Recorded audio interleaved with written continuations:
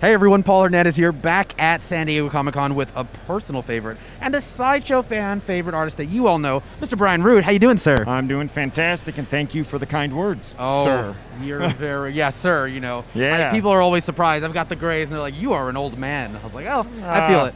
you're Brian, looking good. It is. Uh, it's very good to see you. Let's uh, let's talk a little bit about being back at San Diego Comic Con. I'm gonna assume you're you're a veteran to Comic Con. How many Comic Cons does this Yeah. make for you? Well, this I found on the exhibitor portal.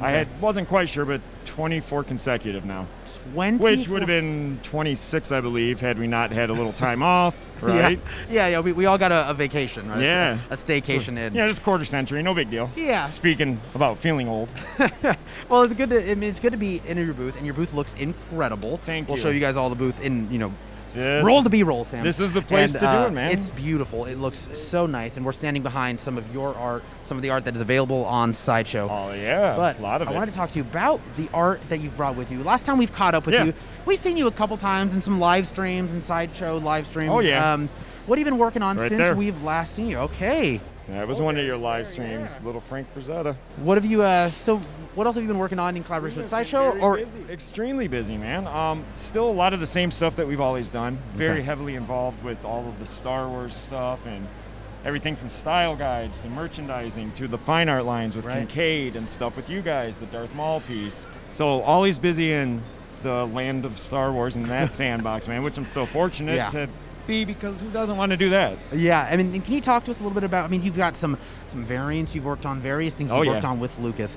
Ha- have there been any uh, moments where you're like, okay, I am still Brian Rood, and I, but I can't believe I'm working on Star Wars. or like the imposter effect type feeling or whatever. Yeah. Um, dude, we thought we'd do like a Star Wars gig, or Yeah. I'd be happy if I got a book cover or a job that I could kind of notch that off the bucket list. Like, I did a Star Wars job. Never thought it'd be two decades of almost continuous work of storybooks and key Well, art. And I mean, with your style and how Yeah. incredible it looks, there's no, Thank there you. was no doubt, I'm sure, in anyone's mind that it would be Oh, a yeah. decade's Oh, span. yeah. yeah.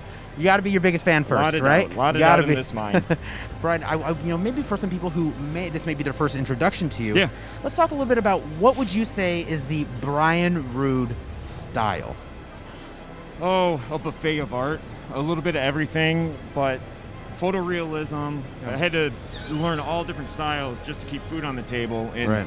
keep work coming in. So kind of an artistic course. chameleon that all ended up melding together after 10, 20 Yeah. plus years into just a really kind of classic illustrative style that is fun and punchy and it, it can be utilized on different properties. Absolutely. From Marvel to the Walking Dead stuff I do to the Creep Show, Umbrella Academy.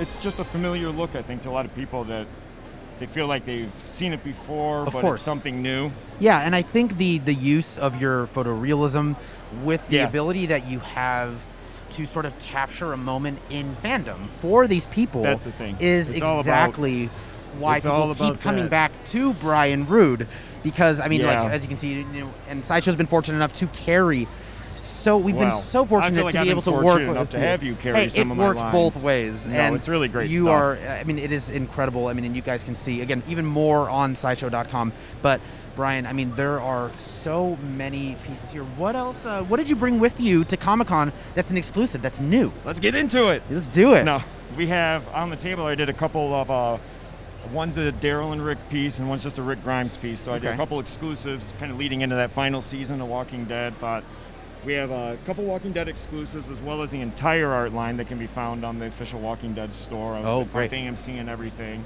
Yeah, so we have a select handful of original paintings, a Right. lot of my artist proofs from both the line I do with you guys, some of the older publishers, some of the official Disney just Right. scattering of artwork through over the years. All very limited stuff. Some of them limited, like the Ghost Rider here with Sideshow, and most of these have been sold out already on the Sideshow site. So we just try to bring stuff that is not impossible to come by, but you're only going to get this stuff here. Yes, exactly. The artist proofs, the originals. Absolutely. And we have standard editions too. You've been incredibly welcoming to us, Brian. We appreciate it. Oh, that's true. It is. yeah, you should see them right after camera. Right when this light goes Um, off, so it gets different. We'll let you get No. back to it. You were fortunate enough to close off your booth so we can do this. But I've got to ask. Yes. You've been 24 Comic Cons. Yeah, right on. 24. Yeah. Do you have any unusual or fun rituals that you do every single year? Same coffee shop, you stay in the same Is that hotel. camera still on? Yeah, it's coffee then. Oh, it's coffee. All right, yeah.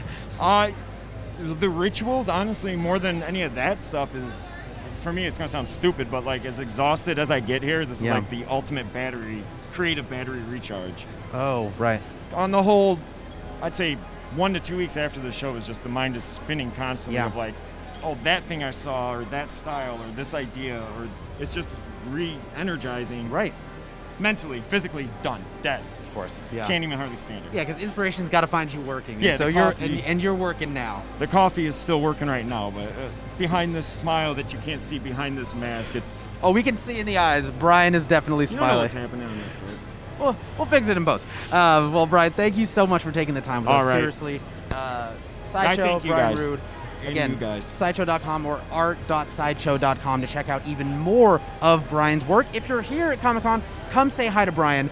Uh, thank you Love so it. much for taking the time and hanging out with us. Thank all you guys, man. Thank you Everybody guys. watching, we love it. We love it. Thanks, guys. Don't forget to let your geek side show.